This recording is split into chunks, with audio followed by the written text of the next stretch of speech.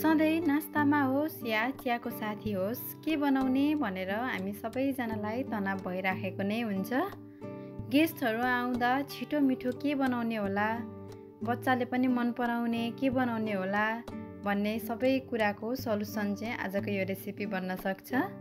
Recipe के हो भन्दा आलु सुजी डुनाच हाई एभ्री वान हजुरहरू सबैजनालाई मेरो युट्युब च्यानलमा धेरै धेरै स्वागत छ। ल आउनुहोस् सुरु गरौँ आजको यो मिठो रेसिपी। यहाँ चाहिँ मैले चारवटा आलुलाई राम्रोसँग धोएर लिएको छु। अब यसको चाहिँ हामीले बोक्रा फाल्नुपर्ने हुन्छ। यसरी एउटा आलु पिलरको हेल्पले म यो सबै आलुको बोक्राहरू तासेर फाल्दैछु। यो आलुको बोक्रा तासे पछाडि चाहिँ हजुरहरूले यसलाई पानीमा नै राख्नुहोला। यो आलु चाहिँ चाँडै कालो हुने भएको भएर यसलाई चाहिँ हामीले पानीमा नै राख्नुपर्छ। मैले सबै आलुको बोक्रा तासेर भ्याइसकेको छु। अब म यसलाई एकचोटि सफा पानीले पखाल्नेछु। सफा पानीले एकचोटि धोए पछाडि यहाँ आरीमा मैले पानी लिएको छु थोरै र एउटा यस्तो ग्रेटर पनि लिएको छु। सबैभन्दा पहिला यो आलुलाई चाहिँ म यस्तो ग्रेटरमा ग्रेड गर्दैछु। यसलाई म सिधै पानीमा ग्रेड गर्दैछु किनभने यो आलुहरू कालो नपरोस् भनेर। यसलाई चाहिँ यसरी पानीमा नै ग्रिट गर्नु होला। आलु चाँडै कालो बुन्न सक्छ यो आलुलाई चाहिँ यसरी कोरिसके पछाडि भिजाएर राखिराख्न पर्दैन। यसको पानी सबै छानेर यसलाई बोइल गर्नका लागि एउटा प्यानमा राख्नेछु म।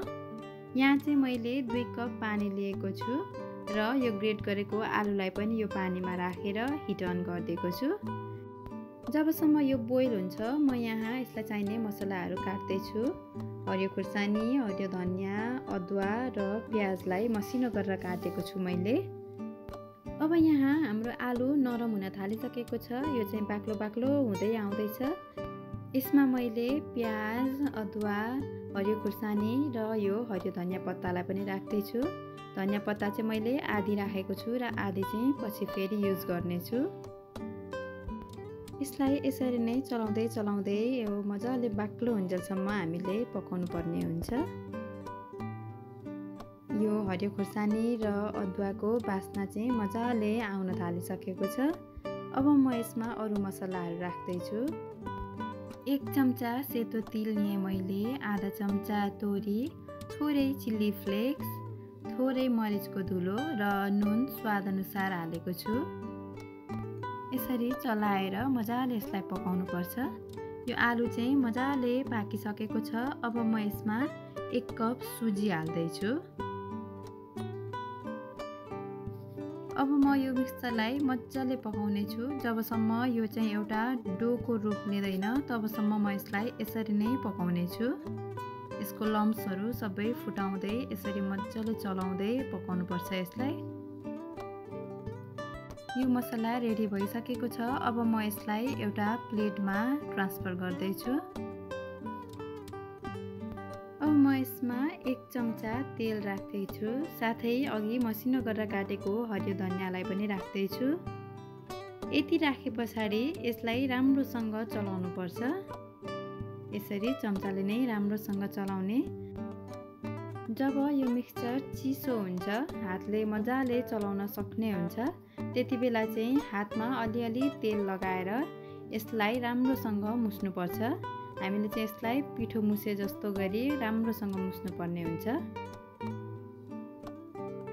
यसलाई चाहिँ राम्रोसँग यसरी मुसेर यसको एउटा डो तयार गर्नुपर्छ हामीले। हेर्नुहोस् त मजाको यो डो बनेर तयार भइसकेको छ। एकदम कलरफुल देखिएको छ।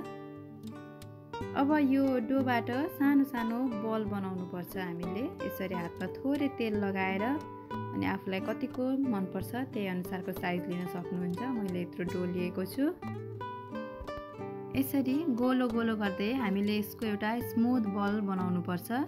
कतै पनि क्र्याक हुनु भएन। राम्ररी जबसम्म स्मुथ बल रेडी हुँदैन तबसम्म यसरी नै तेल लगा हातमा लगाएर गोलो गोलो बनाउनु होला अब एउटा औँलामा तेल लगाएर यसरी बिचमा होल बनाएर डोनटको सेप दिनुपर्छ यसलाई।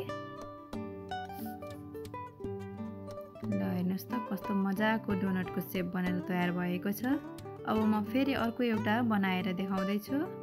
त्यसै गरेर हातमा तेल लगाउने बललाई एकदमै स्मुथ बनाउने र औँलाको सहायताले डोनटको सेप दिने अर्को डोनट पनि बनेर तयार भइसकेको छ।